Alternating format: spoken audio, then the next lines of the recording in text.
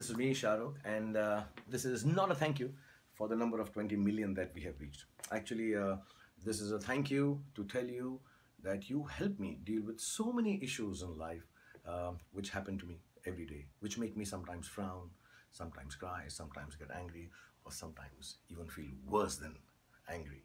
But, uh, you know, whenever I go to my timeline and I uh, see the love and warmth that you're sending my way, all of it turns into smiles.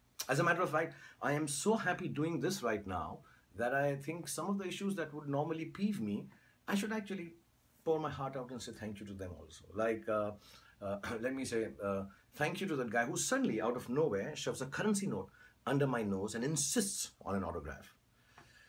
Sir, you don't know. It's very difficult to write on a currency note. And it is also illegal to deface currency.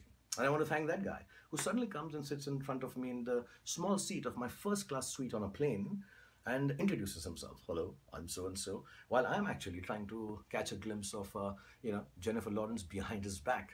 And sir, I'm not interested in knowing why you're going to the same city as me and what you're going to do there in the evening. And thank yous are in order to that man who certainly in a public place bends down, wearing such loose jeans that I can see the cleavage of his hairy bum. Thank you, bro, for really giving me repressed midlife. And thank you to the engineers who've done stuff on the phone that it suddenly switches between Hindi and English. And uh, as much as I may try, I can't, I can't turn it back in one shot without feeling like a prematurely geriatric twit.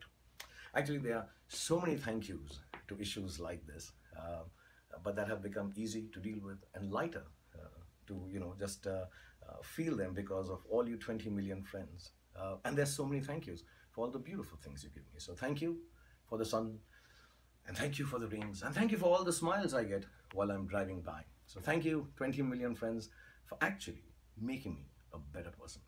Love you all.